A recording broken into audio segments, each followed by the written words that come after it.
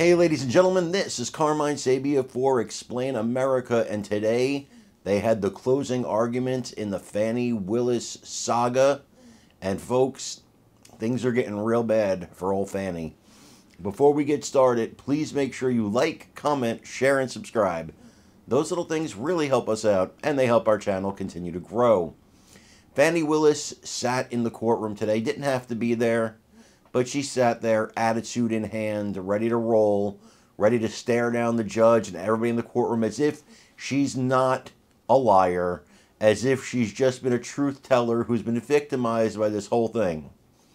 And she sat there and just defiantly. And Megyn Kelly, just days before, actually a day before, she read the text messages between Nathan Wade's attorney, Nathan Wade's divorce attorney, and one of the attorneys representing the defendant in the Trump case.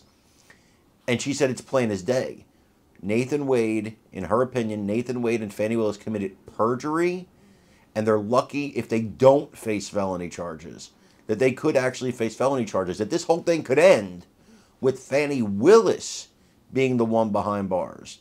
Now, Leo Terrell says, even though she could be charged for perjury, her act today was an act of defiance. I want you to hear him and the Fox News crew talk about this. And then I want you to give me your opinions. Should Fani Willis go to prison? Folks, please make sure you like, comment, share, and subscribe. Those little things help us out, and they help our channel continue to grow. This is Carmine Sabia for Explain America. We love you guys. God bless you. Take care, everybody. Uh, Shannon, you and I were talking about this uh, just before the uh, court wrapped up there. Uh, this whole case would seem to hinge on a single text message. And that was the text message when Ashley Merchant said, Did this start before he was hired? Terrence Bradley responds, Absolutely.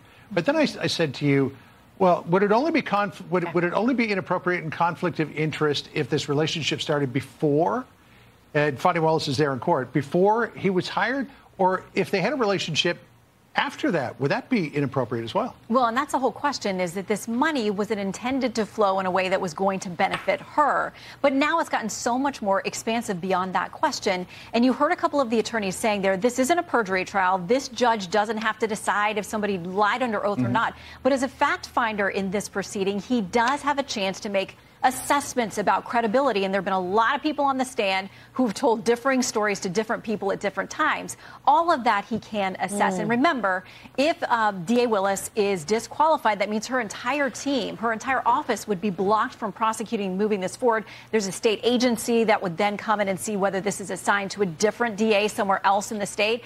Obviously, that would be a massive delay. It could change the very structure of the court, the charges, the defendants, all of it. Um, but there is a chance this judge says, hey, you haven't come to me. There was a lot of talk about who has the burden of proof.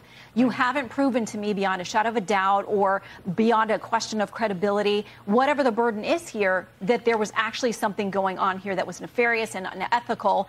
Only Scott McAfee can make that decision. And you've heard him. He's been very neutral. He's been very blunt. You heard one of the attorneys there saying, can I have time for rebuttal to come back at the end? He's like, nope. Uh, so he's trying to play by the rules and say, like, we're going to wrap it up today. Yeah. Um, Leo, perhaps this will be the final thought as uh, Fani Willis, as you can see on the screen there, has entered the room, taken her seat, and the judge said they'd be returning at 240. Quick thought before we get back in here. No question. When the fact that she's in the courtroom, Sandra, John, Shannon, Kelly, she's going down with the ship.